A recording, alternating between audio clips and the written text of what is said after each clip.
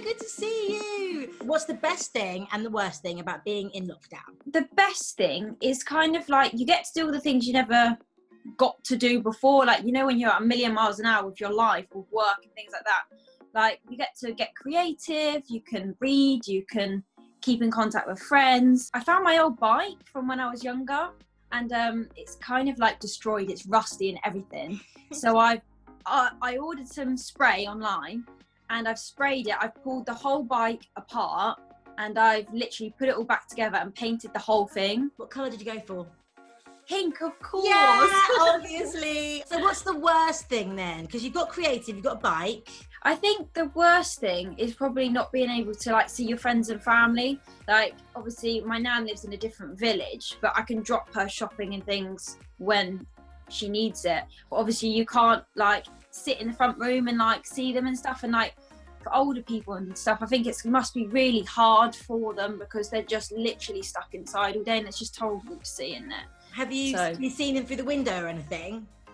Yeah, yeah. I dropped the shopping on the front door and then I'll sit over the fence. I'll bring like a deck chair and sit outside my car and just speak to them. So it's not too bad, but it's just like it must be horrible for like all families and stuff that are in different places like if you had family members up in london you live down here it must be so difficult well what is it that you're missing the most apart from your family and having that interaction probably traveling because you know i love being away all the time surfing and stuff so that's probably the one thing i'm missing because i had so many amazing things lined up and then obviously this all happened so you definitely take things for granted when you don't get to go and do all these amazing things. You're missing living out of the bag. I never thought you'd say that. I know. So, what about some bad habits? What have you kind of started doing that you are a bit annoyed at yourself for? Oh, it's got to be snacking, hasn't it? I think that's everyone's worst thing. You just can't help yourself because you're sitting in the front room, and the most exciting thing of the day is finding whatever is in the fridge. Because my sister, she cooks a lot, and she's always baking now, and it's just it's dangerous. What's your kind of go-to snack that you need to have in the fridge for lockdown? I love chocolate orange Lindors. They are my favourite. That's a bit niche. so apart from the chocolate, any other bad habits you've developed? Are you getting up in the morning and are you getting out of your PJs? Yeah, because I don't really like lounging around. I, I feel guilty for sitting down watching films and stuff. Like I don't actually understand yet how people have been so bored that they're sitting watching films. I just haven't managed it yet. Not any of my family either. We've had so many jobs to do. So I'll get up and put gym wear on because even if I don't do a workout, I feel a bit better than wearing pajamas or like saggy mug clothes. So I kind of just been getting up, cleaning wardrobes out, cleaning shelves out. That's my new hobby. Literally shelf emptying. Are you doing that tap to tidy thing?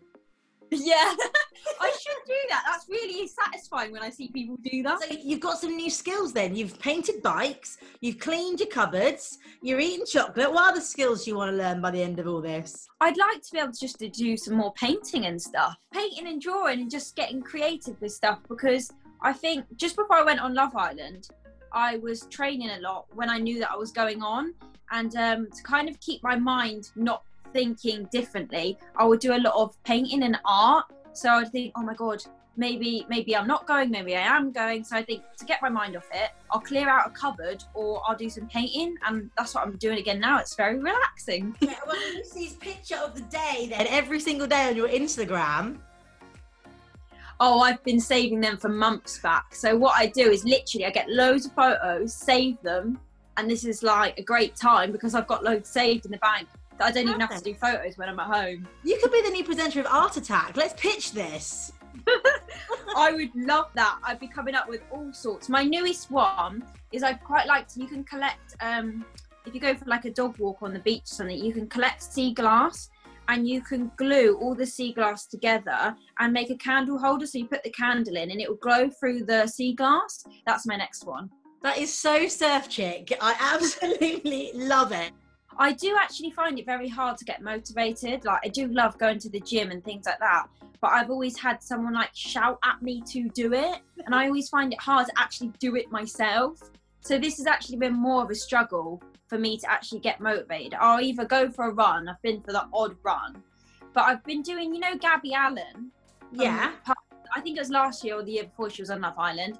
I've actually been doing her live workout on her Instagram every day, and I find watching my friend do that, and she's really motivated to shout at you. I feel like I'm much better about doing exercise and stuff. So she's been keeping me mo- motivated every single day. Love Island sticking together. I love that. That moves me swiftly on to if you could share your lockdown experience with any other islander from any series, who are you going to pick? It's got to be Gabby because she'll be making me work out every second of the day and I'd have the best body ever by the end of it. So definitely her. You're not going to pick a boy to flirt with? I mean, not really. I would prefer Gabby because I'd rather come out of lockdown like shredded like her than coming out of lockdown eating snacks, chilling with a boy. Definitely not. that is very, very wise. And what about if you could share your lockdown with anyone in the world? Like you've got one person to pick, famous or not famous, or any person on the planet. Oh, that's a great one. I would probably say sorry to Miley Cyrus, but I would probably have Cody Simpson in my house because he is just an angel.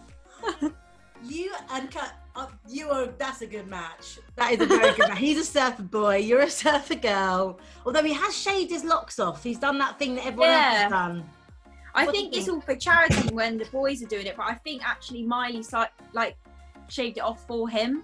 So I was like a bit jealous, but you know. I know. And to be honest with you, I mean, everyone is doing this whole um, shaving heads. They're doing this whole, um, you know, lockdown new hair regime. Like Beckham's done it. Do you like a shaved head? I don't really mind, to be honest. Oh, but you do know I like a lot of hair. I love my hair on boys, so I mean, if I did have a boyfriend and they shaved it off, if it was for charity, I would say, yeah, that's great. But if it's for just for fun, no. Let it grow. Have a little ponytail. Yeah, because like while I've been in lockdown, obviously all the girls, I don't know how all these girls are doing it, struggling with hair extensions. I've taken all mine out, and these are just clipping hair. So literally, it's going to hopefully let our hair get better and grow.